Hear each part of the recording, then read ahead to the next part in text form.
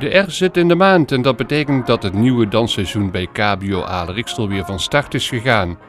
In de maanden september tot en met april wordt er elke dinsdag van de maand een dansavond georganiseerd. Altijd gezellige avonden waarop gedanst wordt op populaire voor iedereen herkenbare muziek.